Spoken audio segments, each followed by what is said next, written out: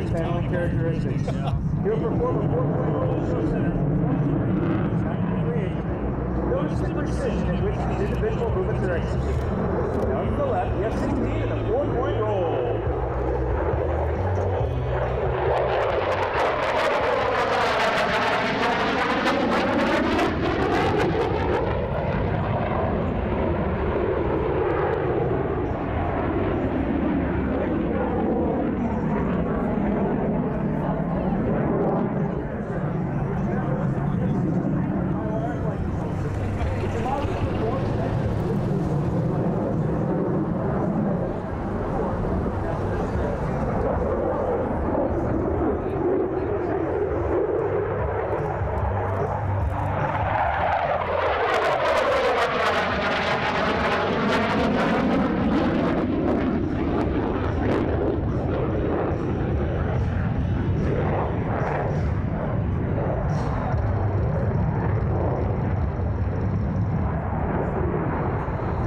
As he approaches show Major Graham will set up for a series of maneuvers which will demonstrate the F-16's ability to turn tight and stay unpredictable.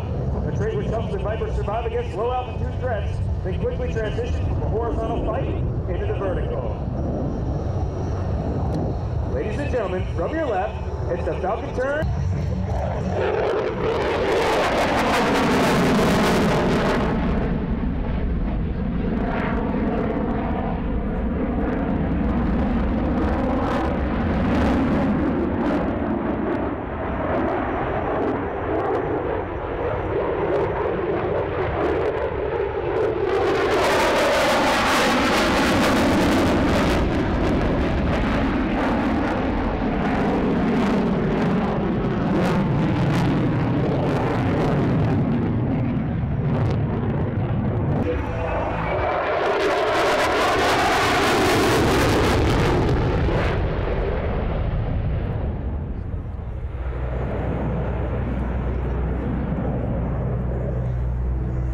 Major Graham is now slowing the F-16 to prepare for a slow speed, high alpha pass. Placement roll that he does. While the Viper here. can fly at more than twice the speed of sound, slow speed control is just as important as those who fly it. Or for Chicago or Boston, that goes up. Like, High alpha refers to the high angle of attack at which the aircraft is flying.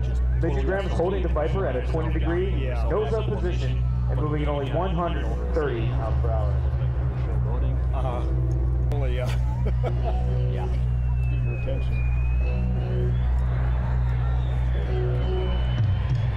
When he reaches the show center, Major Graham will apply full afterburner and accelerate his aircraft into a nearly vertical climb, demonstrating the F-16's awesome thrust-to-weight ratio in a maneuver we call the Buster.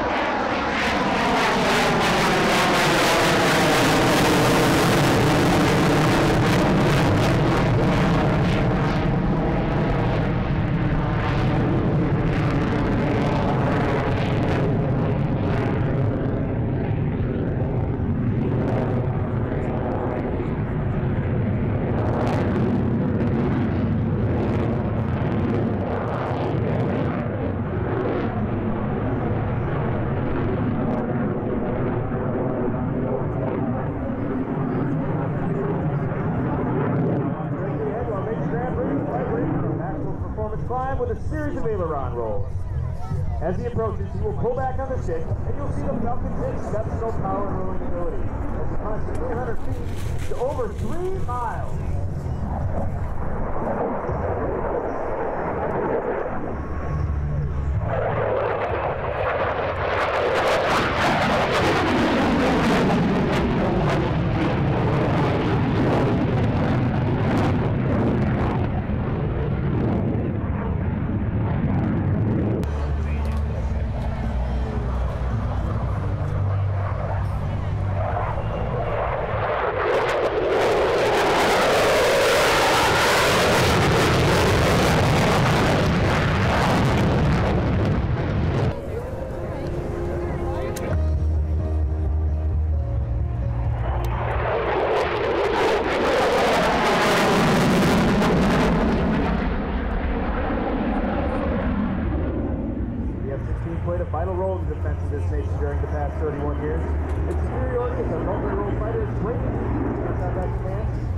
Its commitments as a quick reaction force, helping to give the Air Force its global reach, global power, and above all, its ability to meet any challenge, anywhere, under any circumstances. A brief look at your F-16 Fighting Falcon. Major Graham, our superb maintenance crew, and I will be happy to answer any questions you might have about the F-16, Air Combat Command, or about your United States Air Force. Thank you and enjoy the rest of the show.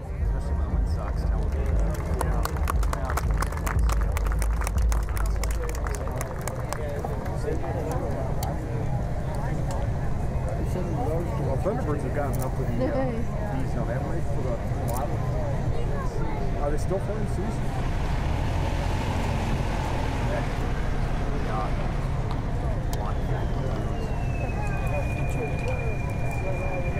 They're still flying the Pratt's then. Got your money's worth yet? What they do, I'll repeat that. You didn't get your money's worth yet. 50-50 on that, yeah or no?